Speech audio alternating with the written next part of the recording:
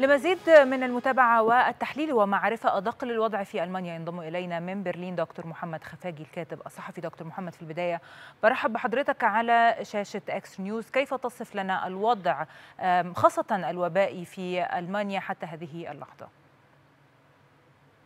نعم. تحية لك ولجميع المشاهدين. أهلا بك. طبعا الأعداد أعداد الإصابات بدأت تتناقص بشكل كبير جدا في. ألمانيا. وهنالك مؤشرات على تحسن الوضع بشكل نح- نحو الإيجاب.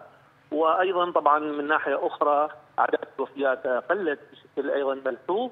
ويرجع الكثير من يعني المختصين هذا الأمر آه، إلى آه، ارتفاع آه، عدد الذين تلقوا التطعيم خلال الأيام الماضية. مهم. فكان لدينا مثلا خلال يوم الأربعاء رقم قياسي وصل إلى أكثر من مليون و300 ألف شخص آه، تلقوا التطعيم خلال يوم واحد وهذا طبعا رقم قياسي حيث آه، لم يكن الاعداد تتجاوز ال 700 800 ألف شخص كل يوم. فهذه الأمور كلها آه، أثرت مم. ايجابا على الوضع الوبائي في ألمانيا. نعم. طيب سيد محمد إذا كان وزير الصحة الألماني يانس بان يتحدث عن أن الموجة الثالثة قد انكسرت في آه، ألمانيا ويكثر الحديث عن تخفيف للإجراءات آه، الوقائية لمكافحة آه، كورونا. يعني برأيك سيد محمد ما هي أبرز ربما قرارات التي ستصدر فيما يتعلق بهذا الموضوع؟ نعم.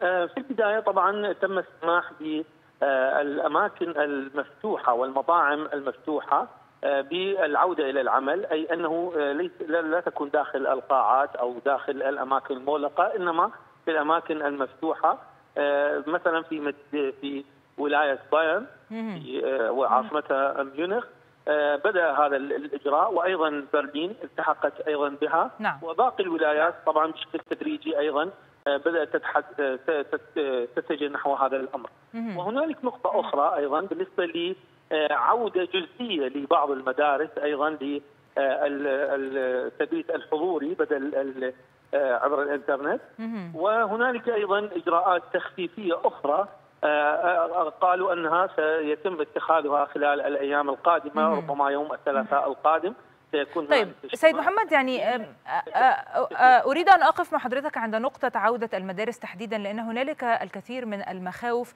خاصة وأن الكثير من اللقاحات ربما لم يتم السماح لأن يتم تلقيح الاطفال بها فذلك يستدعي الكثير من الإجراءات الاحترازية فيما يتعلق بعودة المدارس أو فكرة عودة المدارس، هل ثمه إجراءات مختلفة بشكل أو بآخر تم اتخاذها لاتخاذ هكذا قرار؟ نعم. آه، طبعا آه، لن تعود كل المدارس إنما فقط الصفوف المنتهية والتي هي مهمة ربما. آه، أما باقي الصفوف ستبقى آه، على يعني التدريس عن بعد. وطبعا تم إلزام جميع الطلاب بأن يتم فحصهم على الأقل. مرة واحدة. وهنالك بعض الولايات قالت مرتين اسبوعيا فحص يعني عن بالنسبة لكورونا.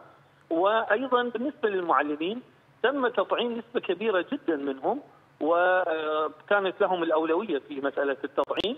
لأنه آه، كما تعلمون هذه مسألة بالنسبة لل- للكادر التدريسي مهمة جدا. وهنالك أيضا داخل المدارس آه، لم آه، لن تعود الصفوف تماما كما هي. إنما كل صف سينقسم ربما إلى مجموعتين أو حتى ثلاث حتى يك- يكون في الصف الواحد عدد قليل جدا من الطلاب ويكون هنالك مساحات كافية لكي يكون هنالك تباعد طيب. اجتماعي وبالتالي لا يؤثر بعضهم على الآخر. طيب سيد محمد يعني أه، سؤالي تاني حضرتك متعلق بشكل تحليلي أكثر. إذا كان أه، ألمانيا في بداية هذه الجائحة كانت ربما من أولى الدول الأوروبية التي أه، بدأت في تخفيف الإجراءات الاحترازية وعانت من بعد ذلك من موجات أخرى وارتفاع مرة أخرى لأعداد الإصابات. يعني ماذا تعلمت ربما ألمانيا من الدروس منذ بداية هذه الجائحة وحتى الآن. نعم.